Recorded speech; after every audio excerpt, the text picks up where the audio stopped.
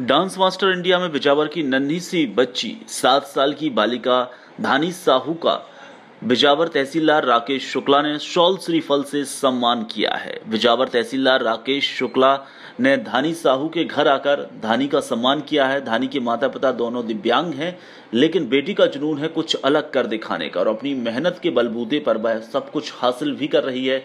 बिजावर की युवा भाई जितेंद्र तिवारी जीतू द्वारा लगातार क्षेत्र की जनता से सहयोग की अपील की जा रही है। तो वहीं धानी की मेहनत एक बार फिर सामने आई है और क्षेत्र का नाम धानी ने रोशन किया है। मेरे घर तहसीलदार अंकल आए हमें अच्छा लगा उन्होंने हमारा सम्मान करा उसके लिए हम थैंक्स बोले हमारी बेटी को बिजावर के लोगों का आशीर्वाद एवं सहयोग मिल रहा है। इसी तरह सहयोग एवं आशीर्वाद मिलता रहे। धन्यवाद। हमारी बेटी का बिजावर की जनता बहुत सहयोग कर रही है, इसलिए हम सभी जनों को धन्यवाद कहते हैं।